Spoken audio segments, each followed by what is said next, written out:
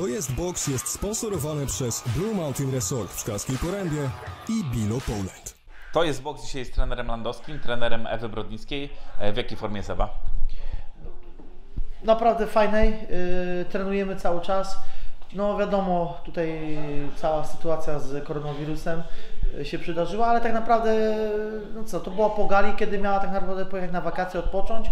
Odpoczęła, no i teraz od dwóch tygodni spotykamy się dwa razy w tygodniu, yy, trenujemy. Do tego treningi z Leszkiem Pyrką i cztery razy fajnie trenuję.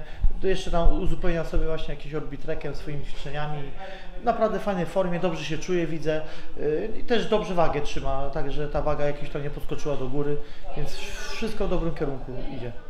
E, Jak wygląda współpraca z Gasem Karenem? On coś podsyła, jakieś swoje uwagi, czy robicie swoje tutaj? Yy, Nie, nie, to wiadomo, tutaj Gaskaren jest pierwszym trenerem, on tutaj do, dowodzi, jest głównodowodzącym, yy, mamy cały czas kontakt, mamy teraz taką pracę domową do odrobienia, przysłał nam filmiki, no i odrabiamy tą pracę domową, jesteśmy cały czas na łączach, mówi, że wszystko w porządku i no, działamy, tak, w ten sposób. Trener jest jed- jednym z najprężniej działających e, organizatorów takich gal białych kołnierzyków, czy tam koneserów, jak to trener nazywa, tak?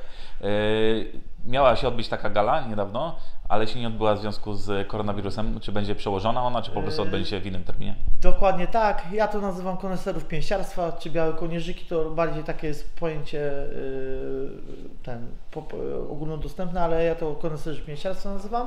Dokładnie, miała być 20, 28 marca po raz pierwszy na, yy, w hali sportowej Studium Wychowania Fizycznego na Wacie, gdzie właśnie pracuję. Yy, Tutaj jako instruktor wychowania fizycznego.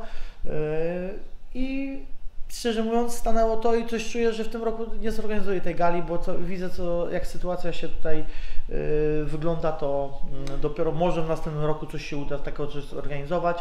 No wiadomo, ja nie jestem jakiś tutaj patentantem galowym, że robię galę y, tak jak tu Mateusz Borek, czy y, z KSW, czy FEN, żeby mógł to puścić per preview i tego nie jestem takim y, tutaj y, y, organizatorem, więc na pewno y, to się nie sprzeda, ale mam nadzieję, że w następnym roku wrócimy ze zdwojoną siłą.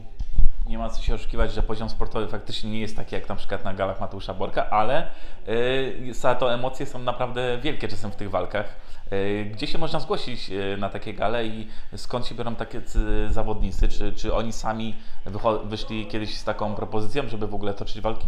E, Czy inicjatywa wyszła na Fortach Bema z moimi zawodnikami, z e, moją grupą, ja to zawsze teraz nazywam Grupa Rezerwy Tokio 2020. Przedtem to był e, Pekin i jeszcze ten, e, e, ten e, Igrzyska do Rio, dokładnie w ten sposób i się właśnie tak śmialiśmy zawsze, że się zawsze szykujemy, bo był cel i motywacja do tego, ale kiedyś tam po treningu sobie zawsze jak tam się rozciągamy, brzuchy, zawsze nasze poga pogadanki są potreningowe i mówią trenerze, może byśmy tutaj wzięli dwie hostesy, y, gong, sędziego i byśmy sobie sparingi zrobili na jakimś takim poziomie, żeby to przeżyć tak y, wspólnie w sobotę wieczorem, później wiadomo sobie jakoś tam y, ten bankiecik zrobić, pośmiać się, po, po, pospominać. Mówię, czemu nie? No ale już pierwsza, pierwsza taka inicjatywa z tego wyszła, że y, byli sędziowie, byli hostesy, było oświetlenie, było wszystko, zrobiliśmy już na takim poziomie, że y, przyjęło się to i zaczęliśmy to robić, tak? Ja nie ukrywam, my byliśmy pierwsi tak naprawdę, jak dobrze pamiętam. Później chyba z Gdyni ktoś tam zaczął robić, czy w Gdańsku i mówi, że jest pierwszy, a tak naprawdę my to zaczęliśmy robić y, jako te białe kołnierzyki.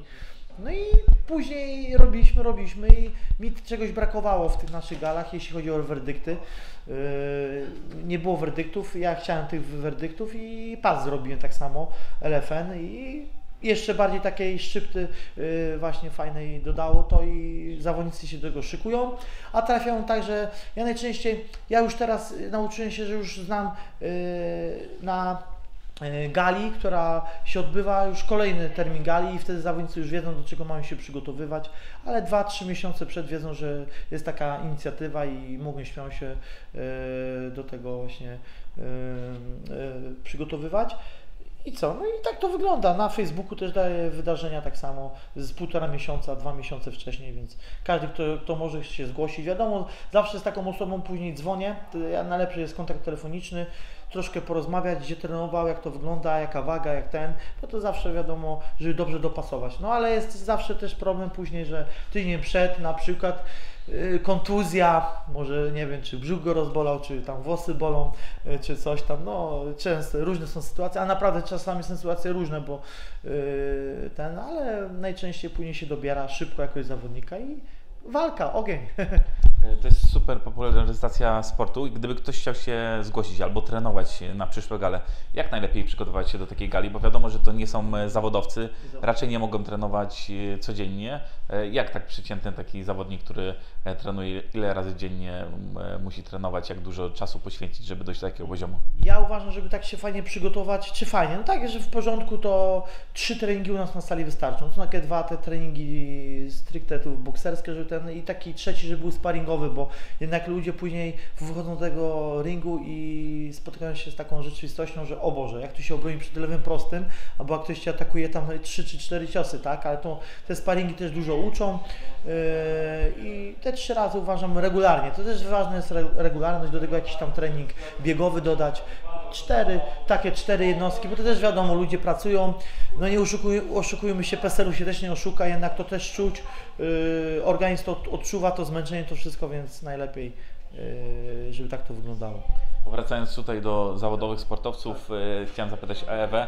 E, Dużo osób gdzieś tam uszczypliwości w jej stronę wysyła, e, jakby kwestionuje jej poziom. Jak ona wygląda tutaj na sali na worku? Bo, bo chyba nie najgorzej. No właśnie, fajne, ba- bardzo fajne pytanie, bo rzeczywiście dużo jest tych hejterów. Ja też jestem takim, no ogólnie kiedyś boksowałem, tak? Może jakoś tam szczytu nie dosiągnąłem, ale tam w tej swojej karierze tam y, 110 walk stoczyłem, byłem mistrzem Polski trzykrotnym, może nie seniorów, zawsze mi jakoś tam to brakowało, ale y, troszkę tego też zasięgnąłem i nie lubię takich ludzi, jak tak oceniam właśnie przez pryzmat, y, co się dzieje. No wiadomo, Ewa też jest, y, to jest jej praca, też musi to do fajnie sprzedać do tego i uważam, że to fajnie sprzedaje, ale naprawdę ona też przede wszystkim fajnie trenuje, tak? Przykłada, ma do tego pomysł, my mamy plan, nasz, sztab, tak? Ja jestem trener tu w Polsce, jest trener Gaz, jest Leszek Pyrka, jest dietetyczka, jest tylko psycholog, jest cały sztab, który jest za to odpowiedzialny i to profesjonalnie wygląda. Przychodzi, y, zawsze wie co ma robić na treningu, y, jaki jest ułożony plan i dąży do jakiegoś celu, tak? A ludzie, którzy tam gdzieś tam widzą ją po prostu, bo jakie zdjęcie da, bo to, to wszystko, no to wiadomo, to też trzeba się wypromować, przez to ta osoba też y, jest wypromowana, no lepiej się sprzedaje to wszystko, to jest też jakieś, ma wpływ na później na jej zarobki, na to wszystko, tak? Więc tak to wygląda. To chciałem jeszcze za, na koniec zapytać o tą Mikaelę Majer, y, zawodniczkę, z którą Ewa prawdopodobnie y, się zmierzy. Mocna zawodniczka, znana na świecie zawodniczka. Miał trener okazję zobaczyć y, jej walki? Oczywiście oglądałem już, już, już, wiadomo teraz, jak już wiemy, że y, y, ma to nastąpić jej walka właśnie z Mikaelą, to tak samo już oglądałem jej walki. Y, no, mocna zawodniczka rzeczywiście idzie, ale no jak każdy, jak gdzieś tam popełnia błędy, mamy jakąś tam taktykę. Właśnie tą Gaz już nam przesłał jedną taktykę i tą pracę domową odrabiamy. Y, I mam nadzieję, że tutaj Ewa jeszcze spełni swoje marzenie, wystąpi na gali właśnie w tym w Stanach i pokaże wszystkim, że potrafi y, wygrać z najlepszymi na świecie. Wszystkich fanów boksu zapraszamy na stronę Box oraz na stronę naszego sponsora Bilopola.